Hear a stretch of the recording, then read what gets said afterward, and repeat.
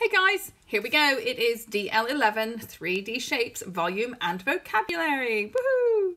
And remember, I'm counting on you using this video intelligently. You will go as quickly as you like or pause and rewind and take as long as you need to make sure you understand everything I give you. Okay, first thing we need to remember is to understand area is a measure of 2D space. So if I had a square that square, this area that I have shaded is my area of that square. That's the area. It is a measure of 2D space. And when we units, when we measure the units for area, they are always going to be squared. Because to measure area, you do base times height, or you're measuring two different dimensions, dimension one and there is dimension 2, which means you have units times units equals units squared. So it'll be centimetres times centimetres equals centimetres squared.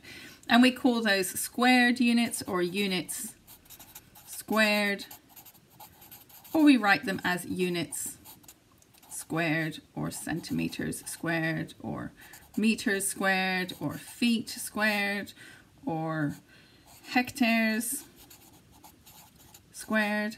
There you go. So there's our area and then we have our units for area. Now when you start measuring um, space that is taken up, when you have volume, that is the space filled by a 3D shape. So that is three-dimensional space. So let's say I have my square and there's the area of my square, but now it's in three dimensions, which means it has three dimensions. There is my square in three dimensions. It's more like a rectangle there, I'm sorry. So there's my square put into three dimensions. Now it is all this space that is filled up. That is three-dimensional space. So again, my units are going to be, you guessed it, cubed. So it will be units cubed or cubic units, because we like to be fancy with our language, or just units to the power of 3 because it's like saying when we measured the base, the volume of something, we'll talk about the base times the width times the height. So that's going to be units times units times units will equal units cubed or centimeters times centimeters times centimeters equals centimeters cubed. And that's just talking about the way that we use the language for those things. Um, then I want to just talk about a couple of shapes that we're going to be working with. We're going to work with a cube.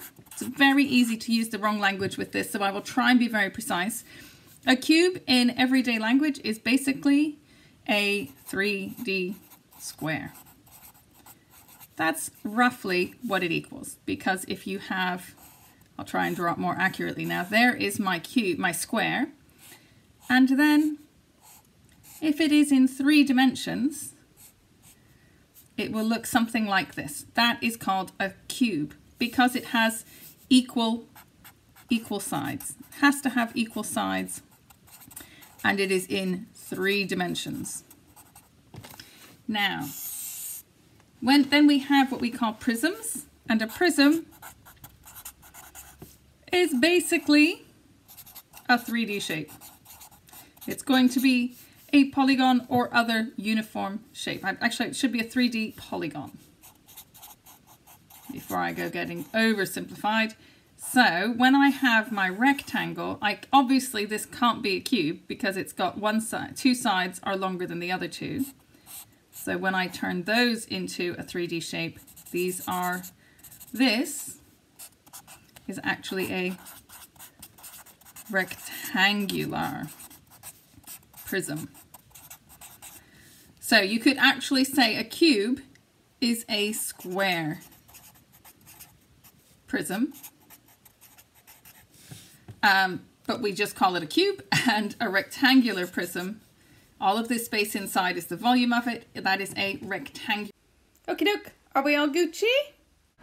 And here is your screenshot of my definitions. I hope yours is much more beautiful.